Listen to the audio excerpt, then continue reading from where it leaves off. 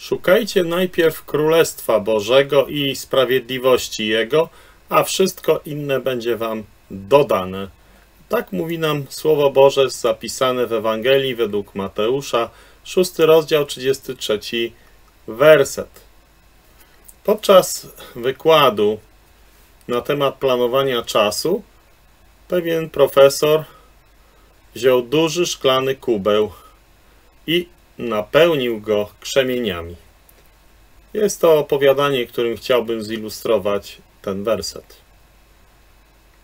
Następnie zapytał profesor słuchaczy, czy jest pełny. Wszyscy jednogłośnie powiedzieli tak. Na pewno? Zapytał profesor.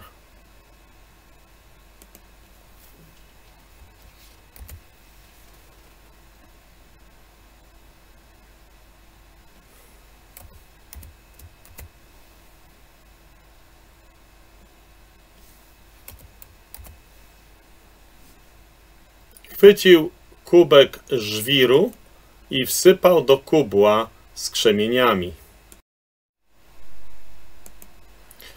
Przy tym potrząsnął kubłem, a żwir wypełnił szczeliny pomiędzy kamieniami.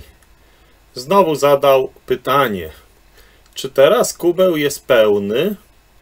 Tym razem zdania studentów były już podzielone.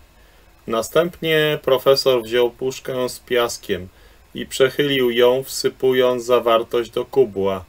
Piasek wypełnił najmniejsze pozostałe szczeliny. Na nowo postawił pytanie, czy kubeł jest pełny.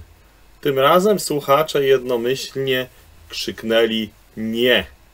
Na koniec profesor wlał dzbanek wody do kubła, która wypełniła go po brzegi. Ten eksperyment można w różny sposób przeprowadzić. Jednak co ważnego chce on nam zobrazować?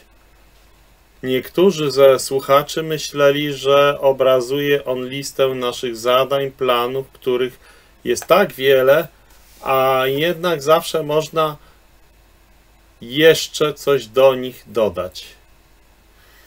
Jednak profesor, odwołując się do doświadczenia, powiedział: Jeśli w kuble nie umieścicie jako pierwszych dużych kamieni, później nie będą już one mogły się zmieścić.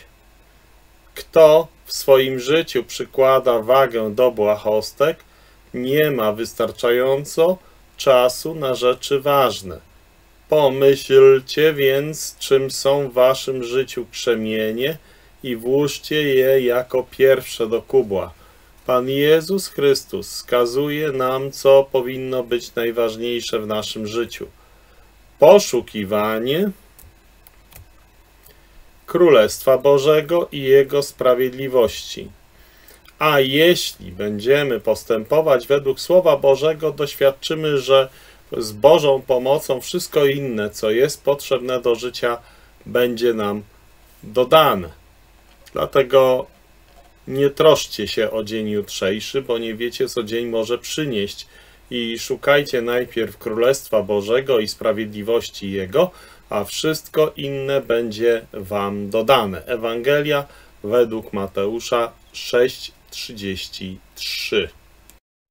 Najważniejsze jest, abyś uwierzył w Pana Jezusa Chrystusa.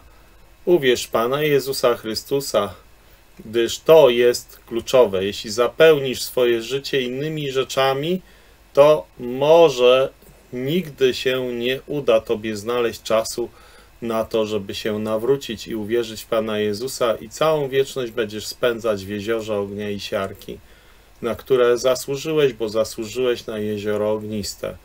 Dlatego ratuj się spośród tego złego i przewrotnego rodu. Uwierz w Pana Jezusa, abyś był zbawiony jeszcze dziś.